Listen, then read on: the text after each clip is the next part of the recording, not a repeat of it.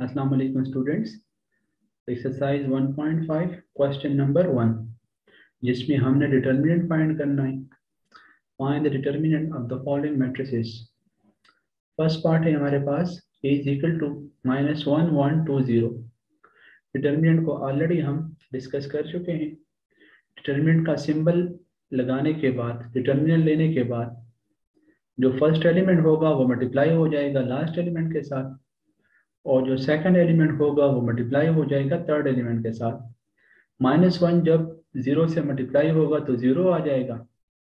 Minus और जब to multiply होगा वन के साथ या वन मल्टीप्लाई होगा टू के साथ, एक ही बात है, अगर टू को वन से मल्टीप्लाई करते हैं या वन को टू से मल्टीप्लाई करेंगे तो फिर भी हमारे पास रिज़ल्ट सेम ही आ रहे हैं यहाँ पर। ज़ीरो माइनस टू हमारे पास आ गया माइनस टू माइनस टू हमारे पास इसी मैट्रिक्स का है डिटर्मिनेंट इसी तरह हमारे पास पार्ट नंबर थर्ड है। C is equal to three two and three two जब हम इसका डिटर्मिनेंट लेंगे डिटर्मिनेंट लेने के बाद फ़र्स्ट एलिमेंट मल्टीप्लाई हो जाएगा लास्ट के साथ और जो सेकंड एलिमेंट होगा वो मल्टीप्लाई हो जाएगा थर्ड के साथ।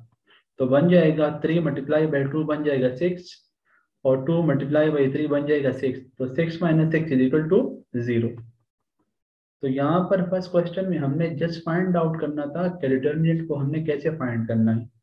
इसी क्वेश्चन के दो पार्ट से इसको आप लोगों ने खुद अटेम्प्ट करना है। अब हम यहाँ पर क्वेश्चन नंबर टू की तरफ़ आ जाते हैं। क्वेश्चन नंबर टू में हमने find which of the following matrices are singular और नॉन सिंगुलर इस क्वेश्चन में हमने बताना है कि कौन कौन से मैट्रिसेस हमारे पास सिंगुलर है या कौन कौन से नॉन सिंगुलर है। सबसे पहले हमें इसका डिटर्मिनेंट फाइंड करना होगा। हमारे पास मैट्रिक्स ए है part number one three six two four हम जब इसका डिटर्मिनेंट लेंगे तो डिटर्मिनेंट लेने के बाद ये बन जाएगा थ्री मल्टीप्लाई बाई फोर और सिक्स मल्टीप्लाई बाई टू या टू मल्टीप्लाई बाई सिक्स जब थ्री फोर से मल्टीप्लाई होगा तो ट्वेल्व आ जाएगा और सिक्स जब टू से मल्टीप्लाई होगा तो इससे भी ट्वेल्व आ जाएगा। सो ट्वेल्व माइनस ट्वेल्व हमारे पास यहाँ पर रिज़ल्ट आ गया ज़ीरो तो इसको हम ऑलरेडी डिस्कस कर चुके हैं पिछले लेक्चर में कि जब भी हमारे पास किसी भी मैट्रिक्स का डिटर्मिनेंट ज़ीरो आ जाता है तो वो मैट्रिक्स बन जाता है singular matrix so that's why A हमारे पास कहलाएगा सिंगुलर मैट्रिक्स अब हम आ जाते हैं पार्ट नंबर बी की तरफ़.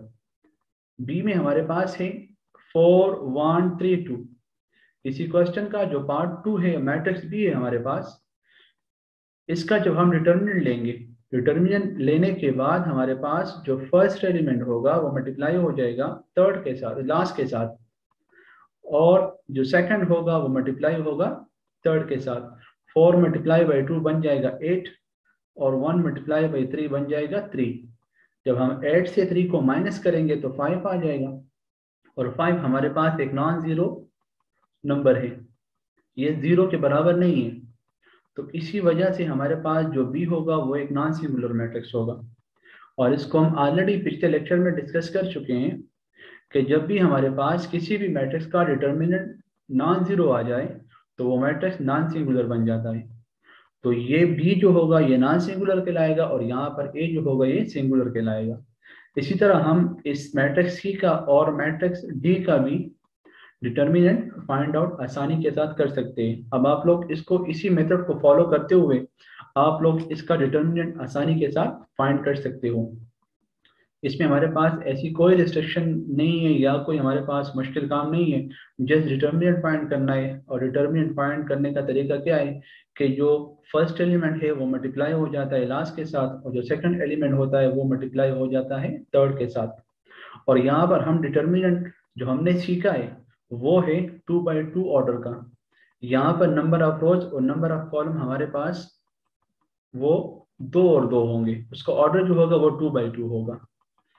इनशाला अगले लेक्चर में हम क्वेश्चन नंबर थर्ड करेंगे। क्वेश्चन नंबर थर्ड में हमने फाइंड आउट करना होगा मल्टीप्लिकेटिव इनवर्स मैट्रिक्स का मल्टीप्लिकेटिव इनवर्स फाइंड करना सीखेंगे। तब तक के लिए अल्लाह हाफिज़।